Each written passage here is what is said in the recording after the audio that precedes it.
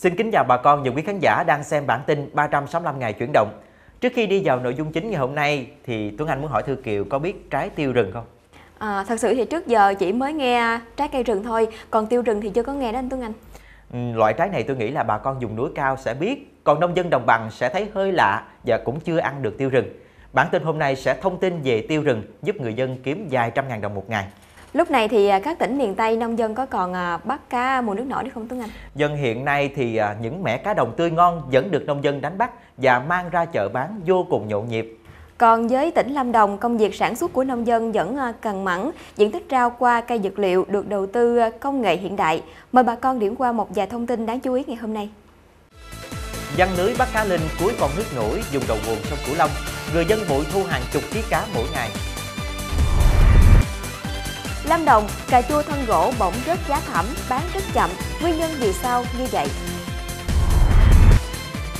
Trong khi đó, tỉnh Lâm Đồng đã xuất khẩu hoa vượt kế hoạch năm 2018. Cuối cùng gạo Việt chính thức có tên tuổi với thế giới. Giữa tháng 12 tới, nước ta công bố logo thương hiệu gạo Việt tại Festival nước gạo Việt Nam lần thứ ba tỉnh Long An.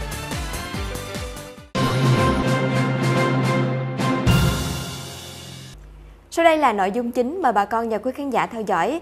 Nước nổi về miền Tây là có biết bao cá linh theo nước về, còn nước tháng 10 âm lịch này là thời điểm cá linh đã lớn.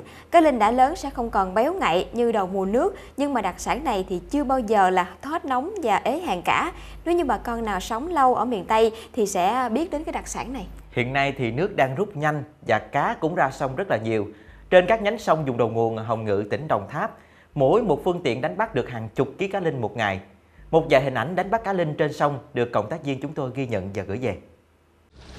Trên nhánh sông Tiền, đoạn giáp ranh huyện Hồng Ngự và thị xã Hồng Ngự những ngày này, xuồng ghe giăng lưới bắt cá hoạt động tất bật. Mỗi phương tiện dài chục tay lưới thả trên đoạn sông dài hơn một cây số, liên tục cuốn về và thu hàng chục ký cá. Ông Nguyễn Văn Thanh ở xã Thường Lạc, huyện Hồng Ngự, tỉnh Đồng Tháp, gắn bó với nghề nên hiểu rõ cứ đến mùng 9 mùng 10 là cá nhiều, Mỗi đợt thả lưới chừng 15 phút là có thể kéo lên gỡ cá. Mỗi ngày kiếm được từ 700 đến 800 ngàn đồng. Cá linh bên cạnh được làm sạch bán tươi thì cũng được nhiều cơ sở làm mắm thu mua để làm mắm sống và ủ mắm. Thương hiệu mắm cá linh và nước mắm cá linh hồng ngự cũng đang được thị trường các nơi rất ưa chuộng. Bên cạnh nguồn thu nhập từ đánh bắt, chế biến các sản phẩm đặc trưng từ cá linh, thì những lao động nhàn rỗi nơi đây cũng có nguồn thu nhập trên 100.000 đồng mỗi ngày nhờ vào việc làm cá. Do đặc tính dùng miền nên tôi chắc là bà con Lâm Đồng không có kiểu à, bắt cá sông, cá ruộng theo kiểu như miền Tây. Nhưng từ những ao hồ có sẵn của thiên nhiên mà nông dân đã thả nuôi các loài thủy sản kiếm thêm thu nhập cũng để đa dạng cây con của địa phương. Ngành nông nghiệp huyện Cát Tiên cho biết cùng với việc chú trọng nâng cao năng suất cây lúa, chuyển đổi những diện tích điều già cỗi thì những năm gần đây, nông dân huyện Cát Tiên tỉnh Lâm Đồng còn khai thác tận dụng những diện tích ao hồ có sẵn để nuôi thủy sản Hiện nay, huyện có hơn 295 hecta mặt nước nuôi thủy sản. Các địa phương tập trung nhiều diện tích mặt nước nuôi thủy sản bao gồm các xã Gia Viễn, Tiên Hoàng và thị trấn Cát Tiên. Người dân nơi đây chủ yếu là nuôi các loại cá như là diêu hồng, cá trắm, cá trôi, cá chép. Theo một số hộ nuôi cho biết thủy sản nuôi trong ao hồ có năng suất bình quân trên 35 tạ một hecta. Đặc biệt là ở hồ Đắc Lô, thủy sản nuôi trong lồng năng suất đạt trên 62 tạ một hecta. Thông tin sau đây cũng đã gây bất ngờ cho nhiều nhà vườn, thậm chí những khách hàng từng săn đón loại trái cây này. Từ giữa năm 2018 đến nay, thị trường cà chua thân gỗ ở huyện Đơn Dương, Lâm Đồng tiêu thụ chậm, giá giảm mạnh, thậm chí có những thời điểm cà chua thân gỗ không tiêu thụ được. Chắc là bà con nhiều quý khán giả sẽ không khỏi thắc mắc tìm hiểu nguyên nhân vì sao một giống cà chua ngoại siêu trái một thời bây giờ bỗng nhiên rớt giá đúng không ạ? Theo người bán là các nhà vườn trồng thành công giống này ở Lâm Đồng thì đầu ra đang rất khó khăn Thông tin cụ thể như sau. Một vài hộ dân ở huyện Đơn Dương, tỉnh Lâm Đồng là những hộ đầu tiên đã mạnh dạn đầu tư vốn hàng trăm triệu đồng để chuyển đất trồng rau thương phẩm sang trồng cà chua thân gỗ. Nhờ nắm vững kỹ thuật trồng và chăm sóc cà chua thân gỗ, vườn cà chua thân gỗ nơi đây phát triển tốt, năng suất đạt trên 20 kg trái mỗi cây. Năm 2017, giá cà chua thương phẩm có lúc lên đến 150.000 đồng một ký, nông dân lợi khá cao. Trong 3 năm qua, đã có hàng chục đoàn khách trong và ngoài huyện đến tham quan mô hình trồng cà chua thân gỗ đầu tiên ở huyện Đơn Dương. Tuy nhiên từ giữa năm 2018 đến nay, thị trường cà chua thân gỗ tiêu thụ chậm, giá lại giảm mạnh, thậm chí có những thời điểm cà chua thân gỗ không tiêu thụ được. Hiện nay đầu ra của sản phẩm cà chua thân gỗ rất khó khăn, nông dân hết sức lo lắng. Vì vậy bà con rất mong muốn được các cấp các ngành chức năng của quyện và tỉnh Lâm Đồng quan tâm giúp đỡ bà con tháo gỡ khó khăn đầu ra cho sản phẩm để bà con yên tâm trong sản xuất. Như hồi nãy thì Tuấn Anh có hỏi Thư Kiều ở đầu chương trình là Thư Kiều chỉ mới nghe về trái cây rừng chứ chưa nghe về tiêu rừng đúng không? Dân anh Tuấn Anh và tôi cũng đang thắc mắc là cái vị của tiêu rừng thì ăn có gì khác với cái vị mà tiêu mình thường hay ăn hay không? Ừ, ngay sau đây Tuấn Anh xin giải đáp cho Thư Kiều cũng như là bà con và quý khán giả về loại tiêu này. Tiêu rừng hay còn gọi là mắt khén là loại cây thân gỗ mọc tự nhiên, có nhiều ở trên các cánh rừng vùng cao. Từ lâu loại trái này đã được người dân trong vùng làm gia vị ở trong các món ăn khá là thơm. Hiện nay đang đầu mùa tiêu rừng cho nên có thể hái cả ngày.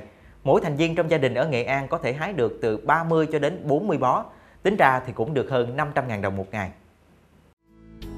Tiêu rừng được lấy về khi còn tươi xanh và được bó lại thành từng chùm. Tùy theo loại, chùm nhỏ có giá 5.000 đồng, chùm lớn 10.000 đồng. Tiêu rừng sau khi phơi khô được bày bán ở các tuyến đường vùng cao của tỉnh Nghệ An. Vào thời điểm giữa tháng 10 trở đi, tiêu rừng bắt đầu cho thu hoạch.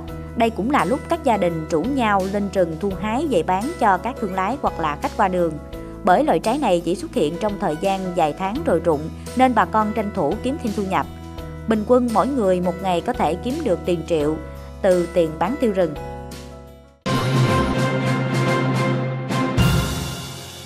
Với một nước thuần nông như Việt Nam, nông dân rất vui mừng khi có được sản phẩm nông nghiệp xuất khẩu và được thị trường ưa chuộng. Lúa gạo là mặt hàng xuất khẩu chủ lực lâu nay, nhưng dù ở top 3 nước xuất khẩu gạo thế giới mà nhiều năm nay gạo Việt vẫn lép về chất lượng, thương hiệu lẫn giá cả. Nhưng mà từ bây giờ là sẽ khác rồi đó nha Thư Kiều. Bởi vì à, hiện nay chất lượng gạo Việt đang được nâng lên và giá gạo chào bán cũng cao hơn cả gạo của Thái Lan nữa. Ngành gạo được chính phủ đầu tư đúng hướng, đang sắp công bố logo thương hiệu gạo Việt. Theo kế hoạch thì lễ công bố sẽ được tổ chức cùng với dịp khai mạc Festival Lúa gạo Việt Nam lần thứ 3 năm 2018 tại thành phố Tân An, tỉnh Long An. Festival sẽ được tổ chức từ ngày 18 đến ngày 24 tháng 12 năm 2018. Ngoài điểm nhấn quan trọng là lễ công bố logo thương hiệu gạo Việt Nam, còn có các chương trình hội thảo như tổng kết chương trình bình ổn thị trường giữa các tỉnh đồng bằng sông Cửu Long và thành phố Hồ Chí Minh năm 2018 thực trạng xâm nhập mặn và khô hạn, gạo sạch Việt Nam khẳng định vị trí đương tầm quốc tế. Trong chương trình festival lần này còn có hội thi gạo ngon thương hiệu Việt. Ở khu vực hội chợ triển lãm sẽ bao gồm khu triển lãm trung tâm, nơi giới thiệu những thành tựu trong sản xuất kinh doanh lúa gạo Việt Nam. Kính thưa bà con và quý khán giả, doanh nghiệp muốn xuất khẩu nông sản bền vững phải xây dựng được thương hiệu. Người nông dân muốn nông sản làm ra được công ty doanh nghiệp thu mua lâu dài với giá cao thì phải sản xuất đáp ứng tiêu chuẩn chất lượng. Vậy thì sản xuất nông sản theo tiêu chuẩn chất lượng là như thế nào? Nó có thật sự khó như nhiều người vẫn nghĩ? Nông dân tỉnh Đồng Tháp đã xây dựng được thương hiệu trái xoài ra sao? Mời quý khán giả cùng theo dõi ngay sau đây. Tháng 6 vừa qua, giá xoài tại Đồng Tháp thấp kỷ lục trong 7 năm trở lại đây. Một trong những nguyên nhân khiến giá xoài cứ bấp bênh là do chúng ta phụ thuộc quá lớn vào thị trường Trung Quốc, một thị trường vốn dễ tính. Tuy nhiên chính sự dễ tính ấy cũng khiến cho nhiều nông dân mình dễ dãi trong quy trình sản xuất. Cũng vì thế nên dù biết các thị trường khác như EU, Mỹ, Nhật Bản rất hấp dẫn, rất ổn định, giá cao, nhưng đa phần trái xoài mình không giới tới được do dướng tiêu chuẩn và chất lượng. Ngay cả thị trường nội địa, giá trị của trái xoài từng nơi từng chỗ cũng khác nhau. Như hôm mùa rồi, bốn ngàn rưỡi năm ngàn ký. Trong khi sản phẩm của tôi đầy đủ chất lượng, công ty mua 18, 20 ngàn, 20 ngàn ký. Cái đó là cái giá trị nó cao dữ lắm rồi. Xoài được thu mua với giá cao, nhưng hơn 3 năm qua cũng chỉ có 7 thành viên trong tổ hợp tác xoài Bà Két liên kết được với công ty trong khi đó, theo nhiều nông dân, sản xuất xoài theo yêu cầu, tiêu chuẩn của công ty đưa ra không khó, quan trọng là bản thân người nông dân có chịu thay đổi hay không. Có thể thấy bên cạnh yếu tố cung cầu của thị trường thì giá bán nông sản phụ thuộc rất lớn vào tiêu chuẩn chất lượng. Giá của một trái xoài sản xuất tại Nhật và một trái xoài sản xuất tại Việt Nam khác nhau thế nào chắc nhiều người đều biết được. Tất cả được định ra từ tiêu chuẩn và chất lượng sản phẩm. Và giá trị ấy hoàn toàn phụ thuộc vào tư duy, số lượng hay chất lượng của bà con nông dân. Nhà vườn tỉnh Đồng Tháp đã bắt tay với các doanh nghiệp để được hướng dẫn kỹ thuật chăm sóc trái đạt chất lượng và liên kết với doanh nghiệp để mà đưa trái xoài lên máy bay đi các nước. Đây quả là một thành công lớn. Còn nông dân trồng hoa ở Lâm Đồng cũng rất vui vì năm nay xuất khẩu hoa vượt kế hoạch đề ra. Riêng hoa tươi các loại ước xuất khẩu đạt 325 triệu cành, kim ngạch ước đạt khoảng gần 50 triệu đô la Mỹ, tăng 11,8% so với cùng kỳ năm trước. Tuy nhiên, ngành hàng này còn nhiều khó khăn, cần nâng cao chất lượng hơn nữa. Theo đánh giá của ngành công thương Lâm Đồng, tuy kim ngạch xuất khẩu, nhập khẩu các loại hàng hóa năm 2018 của tỉnh đều vượt kế hoạch năm, nhưng hầu hết các doanh nghiệp hoạt động trong lĩnh vực xuất nhập khẩu của tỉnh đều là doanh nghiệp vừa và nhỏ, đặc biệt là khu vực doanh nghiệp có vốn trong nước nên đã gặp những khó khăn nhất định, đặc biệt là đối với hoa. Thêm nữa, từ đầu năm cho đến nay, do biến động về tỷ giá trên thị trường thế giới đã tác động đến kim ngạch xuất khẩu. Do đó, trong năm 2019, tỉnh Lâm Đồng cần nỗ lực bằng nhiều giải pháp để nâng cao giá trị, sản lượng các mặt hàng xuất khẩu, trong đó có hoa, sản phẩm thế mạnh lâu nay của tỉnh. Tổng kim ngạch xuất khẩu năm 2018 toàn tỉnh Lâm Đồng đạt 661 triệu đô la Mỹ, tăng gần 20% so với cùng kỳ năm trước, vượt kế hoạch năm 2018.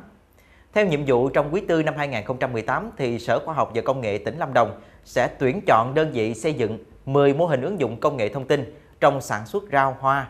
Mỗi một mô hình có diện tích từ 500 cho đến 1.000 m2 và có hai mô hình trồng dược liệu. Cụ thể, mỗi mô hình được lựa chọn triển khai theo quy mô nông hộ, trang trại, hợp tác xã, doanh nghiệp tại Đà Lạt và các huyện phụ cận sản xuất theo chuỗi giá trị. Tùy thuộc vào đối tượng cây trồng, mỗi mô hình sản xuất rau qua ứng dụng công nghệ thông tin để bón phân qua hệ thống nước tưới, kiểm soát độ ẩm của đất, không khí, nhiệt độ, ánh sáng. Còn lại hai mô hình trồng thử nghiệm cây dược liệu xóa rừng dưới tán rừng, mỗi mô hình với diện tích khoảng 500 m2. Trung tâm Nghiên cứu Quốc tế Rừng nhiệt đới rừng quốc gia PDOP Núi Bà phối hợp với Trường Đại học Đà Lạt để triển khai hai mô hình này. Những nỗ lực sản xuất sạch, ứng dụng công nghệ cao được nông dân Lâm Đồng triển khai trên từng mô hình có thể thấy lúc đầu còn nhiều khó khăn, trở ngại, nhưng tương lai Lâm Đồng sẽ có nhiều hơn những mô hình sản xuất nông nghiệp hiện đại để học tập.